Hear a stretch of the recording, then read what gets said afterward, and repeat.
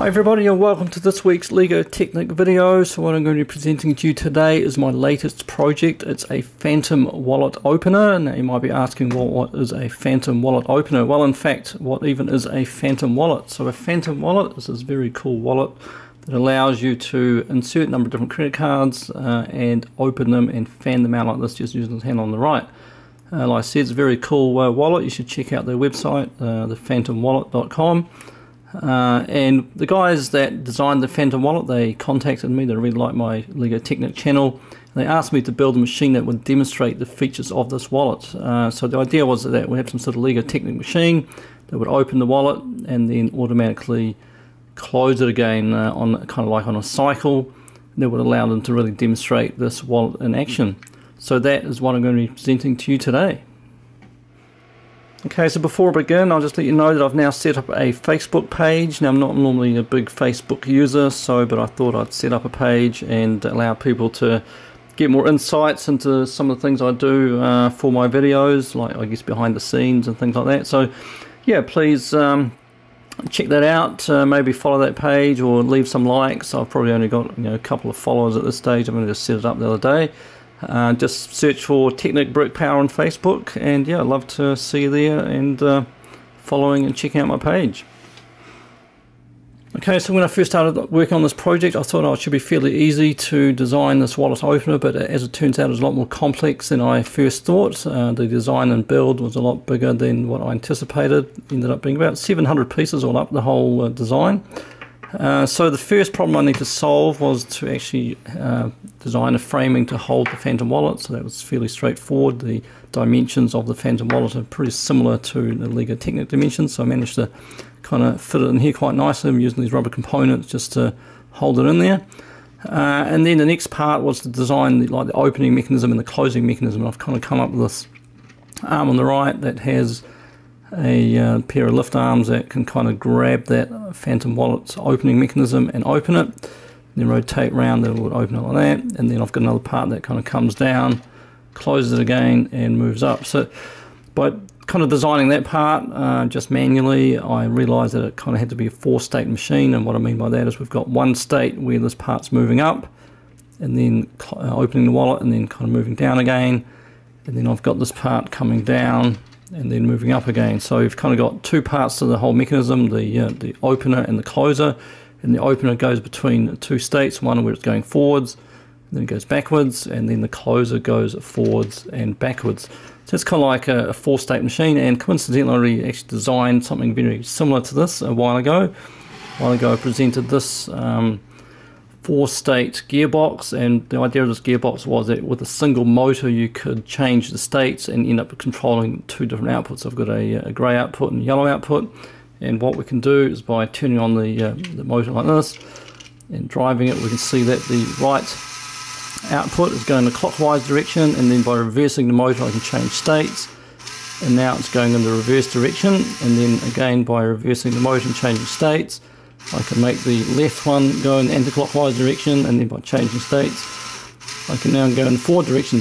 so that was exactly what I needed for this Fantom opener design as well. I've basically got two outputs, one that goes first goes forwards, then goes in reverse, and then another output that first goes forwards and then goes in reverse.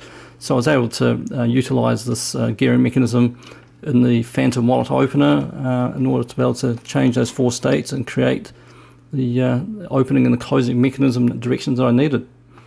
Okay, so in case of the single motor gearbox, uh, I've got four different states, and those four different states are being switched between by reversing the motor, so that would change between the four different output states. Now, in case of the Fantom gearbox opener, of course, I'm not reversing the motor. What I've got, I've got a similar mechanism. I've got an orange rotary catch underneath here driving these driving rings, and I've got the four different states. And the four different states are being transitioned between by having these small lift arms in the appropriate positions, and those lift arms get pushed by another small lift arm in order to change the, between the four different states. So I'll just give you a, demonstration of a small model of that. So for example here I've got that orange rotary catch in the middle. It's got the uh, four different states. I've got a stepping mechanism on this side just to create those four 90 degree angles representing the four different states. And then I've got this small orange lift arm and then as I drive one of the states we've got another small lift arm coming across and pushing on that orange lift arm in order to switch the states just like that. And then once it's switched, then of course this one's being disengaged. Another part will engage and uh, drive another part of the mechanism. So that's how I transition between uh, the four different states. Now, when I first designed the state transition mechanism, it seemed to work fine, so I kind of create this little mock-up of it, uh, and I just uh, test to make sure the idea worked.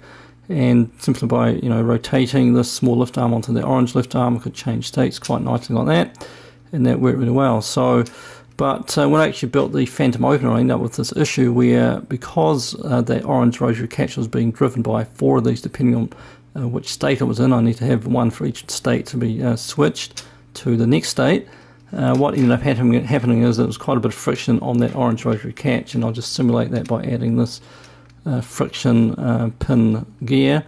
And what would happen was that as I rotate and try to change uh, states, it would kind of push it, push it, push it, but then it would disengage that pushing mechanism uh, from that driving ring, would kind of disengage and not quite push that orange lift arm all the way across. It kind of meant it ended up in sort of in this 45 degree state, so rather than being at 90 degree state, it kind of ended up sticking at 45 degrees, and that wasn't ideal, so I had to think of a, a way around that.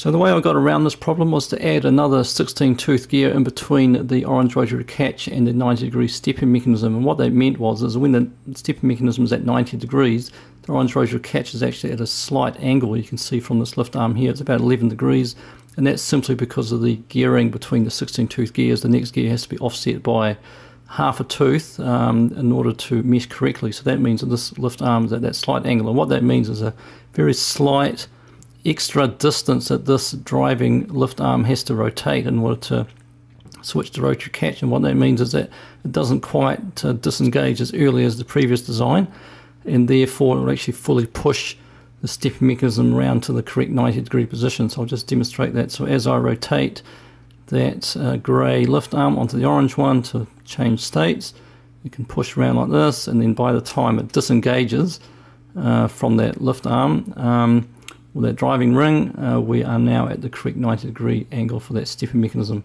So that is how I solved that particular problem for the Fantom wallet opener. Alright, so by now you'll be keen to see the Fantom Wallet opener in action, so I'll just turn it on around the back. And off we go. We're in state 1, and state 1 means that the right part of the mechanism will start operating shortly. And here it goes. It moves up like that. The interesting part about this lift arm is that as it lifts up, it actually engages the gear that rotates that opening lift arm that will open up the Fantom Wallet lat and spread out the credit cards. Now grab the card that you um, want to use we're now back in state 2, it drops down the right part of the mechanism. Uh, it actually got this lift arm here to push that one rotate around into the correct position. Now in state 3 and closing the wallet and transitioning to state 4. Now you can see the orange uh, lift arms being rotated for the state transitions like I talked about before. now opening up again, that's state 4 and now we're going back into state 1 to repeat the whole cycle. So we'll just watch that again. So we've got that right part coming up, rotating around. So like I said, as it moves up, it engages the gears. And like I said, we've kind of got this part of the mechanism just to rotate that around a little bit further so that the small lift arm that does the state transition ends up in a, uh, a correct position for the next cycle. Just watch some of that from a different angle. So from this angle we can see here the orange rotary catch is underneath. Uh, that is driving the driving rings and here we've got that state indicator on the right. We can see which state we're in. We can see that state changing. And we are now in the next state, the state that will again open up the wallet